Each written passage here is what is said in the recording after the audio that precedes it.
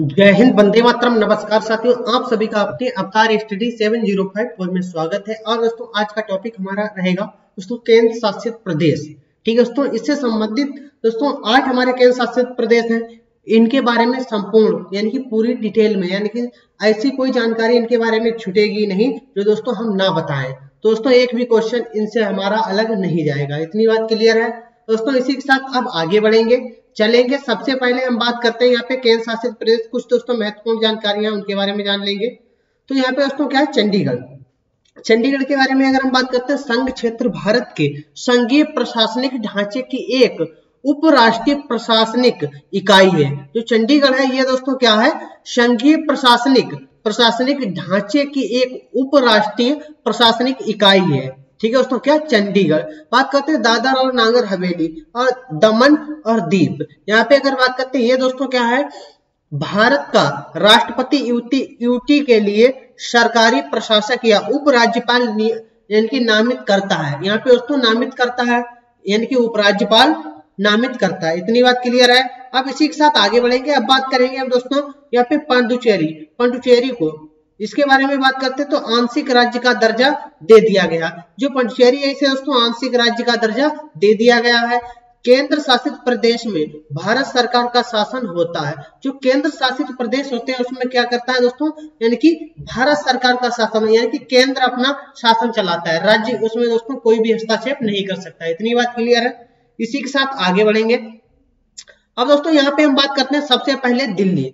दिल्ली की बात करते हैं तो दिल्ली दोस्तों दिल्ली की अगर बात करते हैं national capital territory of Delhi Delhi ये दोस्तों हमारा केंद्र शासित राज्य है, इसके बारे में अगर हम जानेंगे तो भारत की राजधानी, यहाँ पे बात करते हैं, भारत की जो राजधानी और केंद्र शासित प्रदेश है, दिल्ली जो है, ये भारत की राजधानी भी है और उसको क्या है केंद्र शासित प्रदेश भी है। ये इसकी अगर बात करते हैं, ये यमुना नदी के किनारे, यह यमुना नदी के किनारे, यमुना नदी के किनारे, इस नगर का गौरवशाली पौराणिक इतिहास है। इतनी बात क्लियर है? यह भारत का अति प्राचीन नगर है। अति, यानी कि प्राचीन नहीं दोस्तों, यानी कि कहने का मतलब अति प्राचीन नगर है। इसका इतिहास सिंधु घाटी।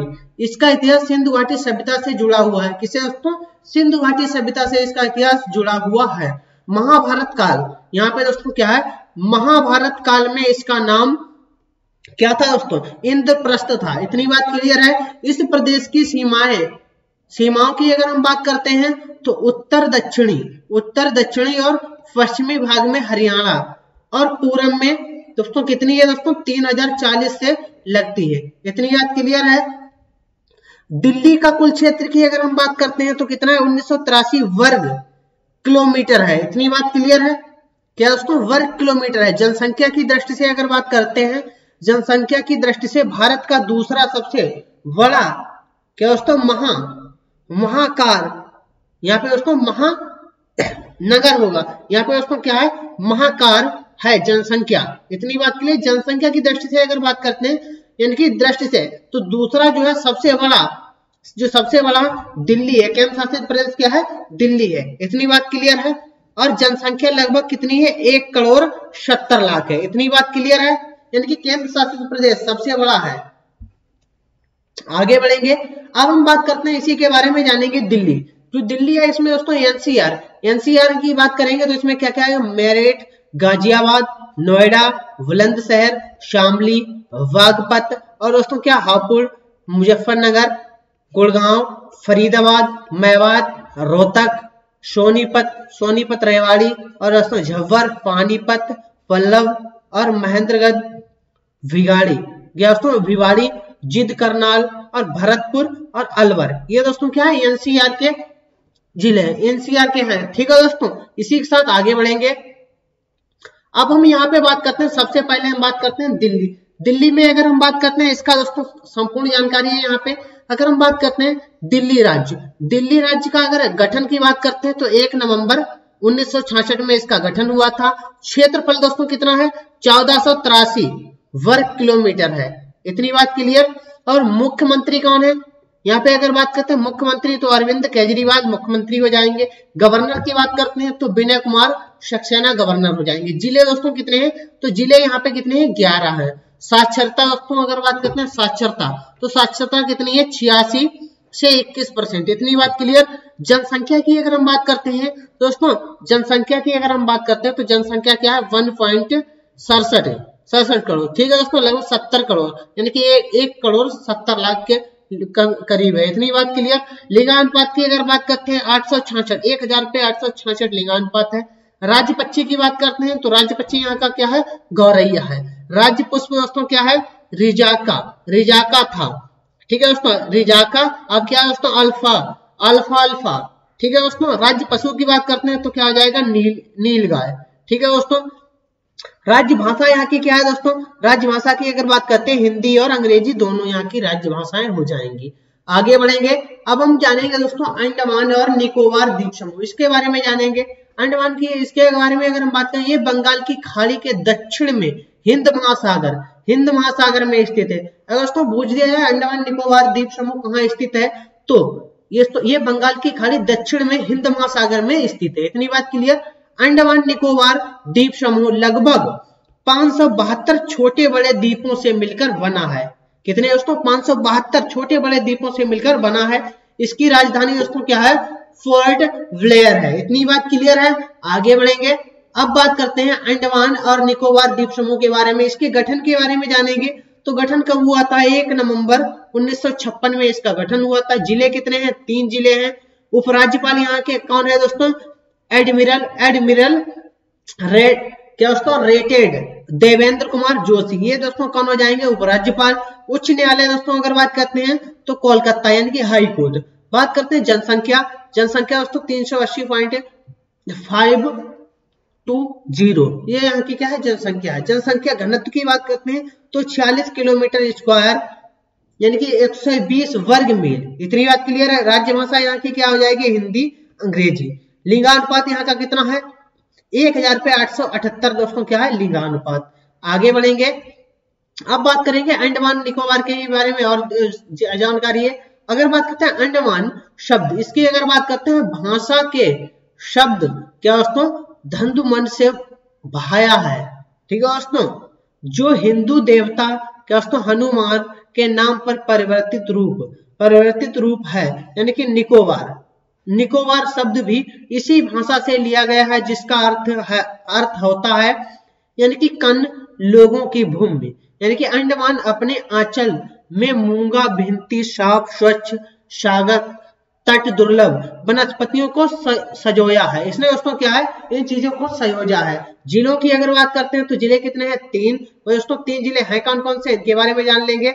उत्तर, मध्य अंडमान जिला, ठीक है दोस्तों और दक्षिण दक्षिण अंडमान जिला। इतनी बात क्लियर? और निकोबार जिला। ये तीन ही ज़िले हैं, अंडमान, निकोबार द्वीप समूह में। आगे बढ़ेंगे। आप जानेंगे चंडीगढ़। दोस्तों, चंडीगढ़ जो है, ये बहुत ही महत्वपूर्ण है। चंडीगढ़ की बात करते हैं, पंजाब और हरियाणा की राजधानी क्या है? और चंडीगढ़। यहाँ पे अगर बात करते हैं, पंजाब और हरियाणा की भी राजधानी क्या है? चंडीगढ़। चंडीगढ़ की राजधानी क्या है? चंडीगढ़ ही है। इतनी बात क्लियर? इसका अर्थ है चंडी का किला। यानी कि इसका अर्थ क्या है? चंडी का किला। यहाँ अवस्थित दुर्गा के एक रूप चंडिका के मंदिर के कारण पड़ा था। किसका दोस्तों मंदिर था? यानी कि अवस्थित दुर्गा के एक रूप चंडिका के मंदिर के कारण पड़ा है। इसे सिटी सिटी, अगर इसे बात करते हैं, इसे सिटी ब्यूटी। दोस्तों, ब्यूटी यानी कि ट्यूटीफुल ब्यूटी ट्यूटीफुल भी कहा जाता है। इतनी बात क्लियर है? भारत की लोकसभा में प्रतिनिधित्व हेतु चंडीगढ़ के लिए एक सीट आवंटित है। कितनी दोस्तों? एक सीट आवंटित है किसके लिए? चंडीगढ़ के लिए। आगे बढ़ेंगे। अब जानेंगे दोस्तों यहाँ पे चंडीगढ़।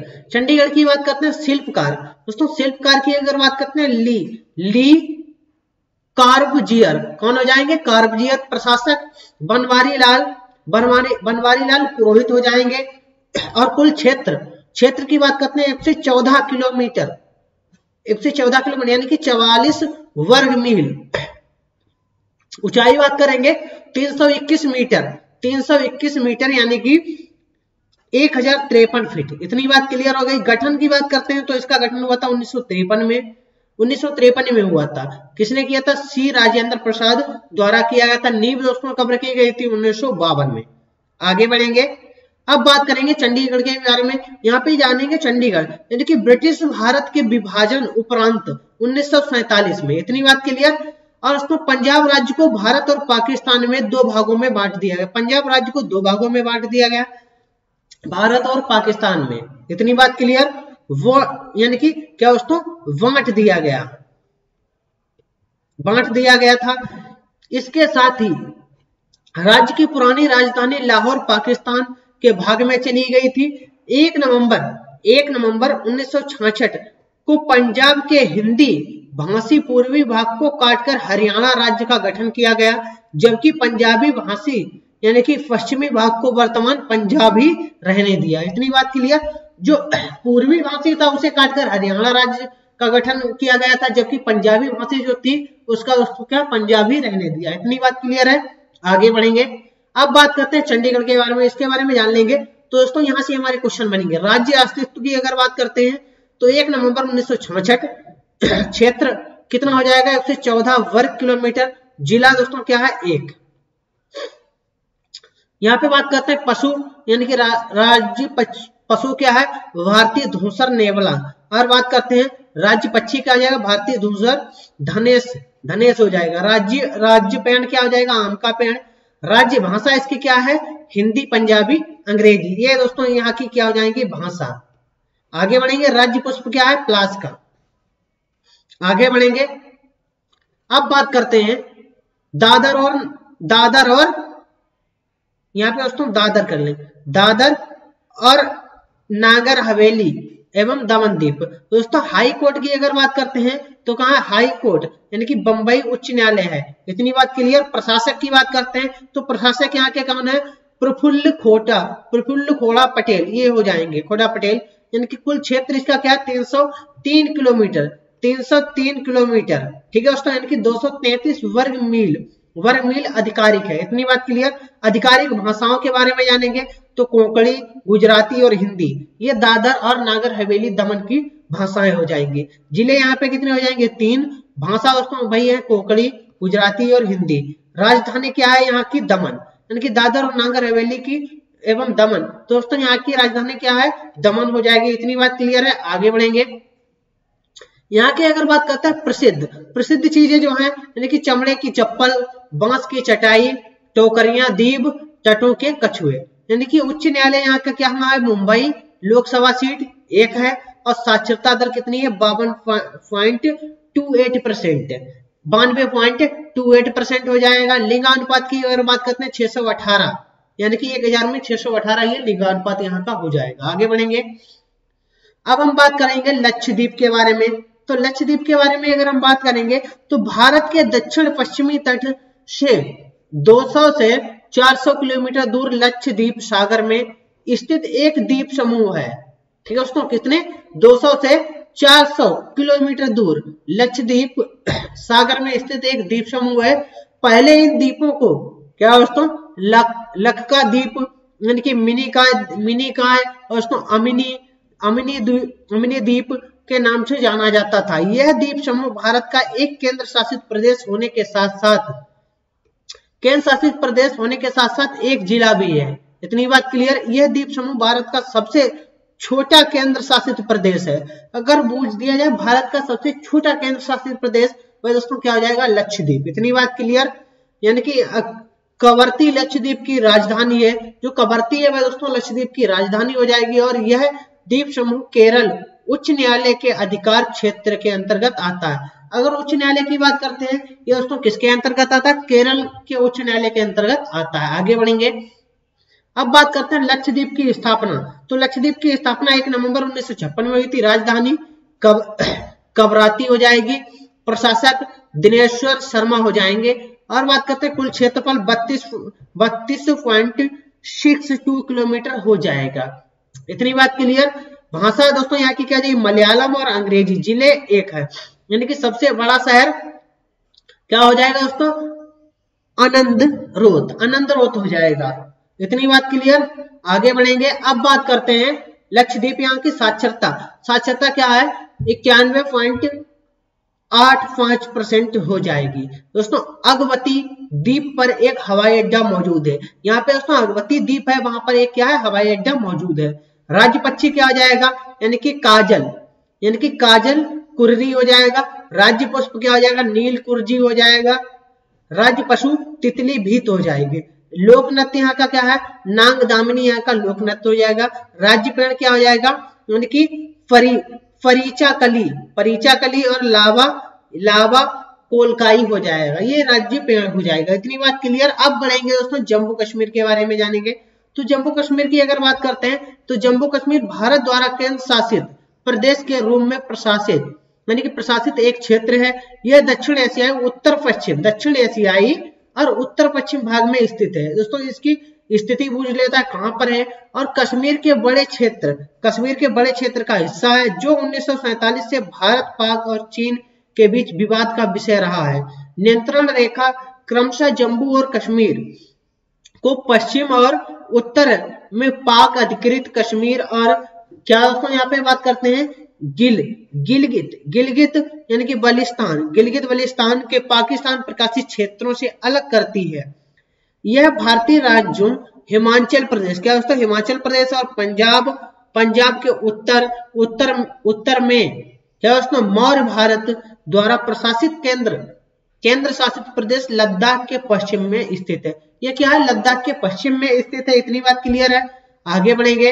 अब बात करते हैं, इसकी बात करते हैं, केंद्र शासित प्रदेश ये बना कब? ये 31 अक्टूबर 2019 को बना है। इसकी राजधानी दोस्तों क्या है? दो है। पहली क्या है? श्रीनगर। ये दोस्तों मई और अक्टूबर। ये श्रीनगर रहती है, जम्मू है दूसरी। वह नवंबर और अप्रैल में जम्मू रहती है। जिला यहाँ के कितने हो जाएँगे? बीस। उपराज्यपाल की अगर बात करते हैं, मनोज सिन्हा हो जाएँगे, विधायिका। एक एक सदनी हो जाएगी। और संसदीय क्षेत्र क्या है? राज्यसभा, लोकसभा। उच्च न्यायालय, जम्मू और कश्मीर, लद्दाख। इतनी बात क्लियर? आगे बढ़ेंगे। यहाँ पे अगर हम बात करते हैं इसका कुल क्षेत्रफल तो कितना हो जाएगा? बयालीस किलोमीटर। इतनी बात क्लियर? स्क्वायर हो जाएगा। यानी कि बात करते हैं राज्य पशु। क्या हो जाएगा? ड्रगोग। ड्रगोग यानी कि हगुल हो जाएगा। ये कश्मीरी वारसिंगा है। राज्य पुष्प की बात करते हैं। आम आम रोडो रोडो क्या दोस्तों रोडो डेडो, डेड्रोन हो जाएगा? राज्य पेड़ क्या हो जाएगा? चिनार का पेड़। राज्य पक्षी घोषित नहीं है। यहाँ का राज्य पक्षी जो है, वह घोषित नहीं है। राज्य भाषा क्या हो जाएगी? डोंगरी, हिंदी, अंग्रेज़ी और उर्दू। आगे बढ़ेंगे। अब बात करते हैं लद्दाख के बारे में। लद्दाख की भारत का एक केंद्र शासित प्रदेश है, जो जो उत्तर में काराकोरम पर्वत और दक्षिण में हिमालय पर्वत के बीच में स्थित है। इसकी स्थिति क्या हो जाएगी? उत्तर में जो है काराकोरम पर्वत और दक्षिण में हिमालय। हिमालय पर्वत के बीच में, दोनों के बीच में काराकोरम और हिमालय के बीच में इसकी ये स्थित है। बात करते हैं भारत। भारत गिली, यानी कि गिलगित गिलगित वलिस्तान। ठीक है दोस्तों? और अक्साई चीन अक्साई चीन को भी इसका भाग मानता है। ठीक है दोस्तों? जो वर्तमान में क्रमशः पाक और चीन के अवैध कब्जे में है। जो दोस्तों अगर बात करते हैं, जो अक्साई चीन है, ये चीन के कब्जे में है। ये दोस्तों कितना है? दस परसेंट है। अगर बात करते हैं पाकिस्तान के जो कब्जे में है, वह दोस्तों कितना है? तीस परसेंट है। इतनी बात क्लियर? ये दोस्तों हमारे यहाँ का हिस्सा है जो पाकिस्तान और चीन के कब्जे में है। इतनी बात क्लियर? कब्जे में है, अवैध कब्जे में इतनी बात क्लियर है। अब बात करते हैं लद्दाख के बारे में। यहाँ पे केंद्र शासित प्रदेश ये बना कब? 31 अक्टूबर 2019 को बना है। राजधानी इसकी क्या हो जाएगी? लेह कुल ज़िले कितने हो जाएँगे? दो लेह और कारगिल। उपराज्यपाल यहाँ के कौन है? वी मिश्रा हो जाएँगे। सांसद कौन हो जाएँगे? जम, जमयांग, शेरिंग तो नाम गायल हो जाएँगे। सांसद। उच्च न्यायालय इसका कहा है? जम्मू कश्मीर, लद्दाख उच्च न्यायालय हो जाएगा। बात करते हैं आधिकारिक भाषा क्या है? हिंदी हो जाएगी लद्दाखी और तिब्बती। ये यहाँ की क्या हो जाएँगी? भाषाएँ हो जाएँगी। अब बात करते हैं लद्दाख के बारे में। मुख्य नगर मुख्य नगर क्या है दोस्तों? कारगिल जो है मुख्य नगर है। और दोस्तों कारगिल और लेह ये मुख्य नगर है। न, नदी कौन सी हो जाएगी? सिंधु नदी लद्दाख। भारत का सबसे बड़ा केंद्र शासित प्रदेश कौन सा है? लद्दाख है। और तो सबसे कम आबादी वाला भी लद्दाख है। ये दोनों क्वेश्चन बहुत ही इंपॉर्टेंट है तो इनको अच्छी तरह से याद रखना है। आगे बढ़ेंगे। अब बात करते हैं आठवां हमारा राज्य है पांडुचेरी। इस प्रदेश के पूर्व में बंगाल की खाड़ी और शेष तीन तरफ़ तमिलनाडु है। पांडुचेरी का कुल क्षेत्र, यहाँ पे पांडुचेरी का कुल कुल दोस्तों यहाँ पे क्षेत्र की अगर हम बात करते हैं, कुल क्षेत्र चार सौ सत्तानवे वर्ग किलोमीटर पांडुचेरी का प्राचीन नाम क्या है? पांडुचेरी था, जिसे 2006 के सितंबर माह में बदलकर पांडुचेरी कर दिया गया। दोस्तों अगर पूछ दिया जाए, इसका नाम कब बदला गया 2006 में बदला गया, सितंबर माह में कर दिया गया। पांडुचेरी का अर्थ है नई बस्ती। इतनी बात क्लियर? या नया शहर? या दोस्तों, क्या है? नया शहर। आठ यूटी में यह प्रदेश क्षेत्र की दृष्टि से तीसरे स्थान पर। क्षेत्र की दृष्टि से यह तीसरे स्थान पर आठों राज्यों में अब बात करते हैं, आगे बढ़ेंगे। इसकी बात करते हैं, राज्य। राज्य क्या हो जाएगा? पांडुचेरी। राजधानी भी इसकी क्या है? पांडुचेरी। राज्य गठन इसका क्या है? एक नवंबर उन्नीस में हुआ। कुल क्षेत्रफल इसका कितना है? चार किलोमीटर, यानी कि वर्ग किलोमीटर। ज़िले कितने हैं? चार। जनसंख्या दोस्तों, यहाँ पे कितनी है? जनसंख्या की अगर हम बात करते हैं, यहाँ पे बारह चवालीस पॉइंट चार सिक्स फोर। लिंगानुपात कितना है? लिंगानुपात की अगर बात करते हैं, एक हज़ार इकतीस। बात करते हैं, साक्षरता दर छियासी पॉइंट पाँच परसेंट हो जाएगी यहाँ की साक्षरता दर। आगे बढ़ेंगे, अब बात करते हैं, राज्य पक्षी यहाँ का क्या हो जाएगा, एशियाई एशियाई कोमल हो जाएगा और राज्य फूल क्या हो जाएगा, कान। कान कोनन वल का फूल हो जाएगा और दोस्तों राज्य पशु क्या हो जाएगा, राज्य पशु भारतीय गिलहरी जो है, राज्य पशु हो जाएगी और राज्य पेड़ क्या हो जाएगा? विल्व हो जाएगा। इतनी बात क्लियर बात करते हैं, राज्य भाषा तमिल और अंग्रेज़ी हो जाएगी। इतनी बात क्लियर है? उसने आठों राज्यों के बारे में संपूर्ण डिटेल में आपको बताया। अगर क्लास अच्छी लगी है तो अपने दोस्तों में ज़्यादा से ज़्यादा शेयर करें और चैनल को सब्सक्राइब करना ना भूलें। इसी के साथ मिलते हैं कल की क्लास में। सभी दोस्तों को मेरे तरफ़ से जय हिंद, जय भारत।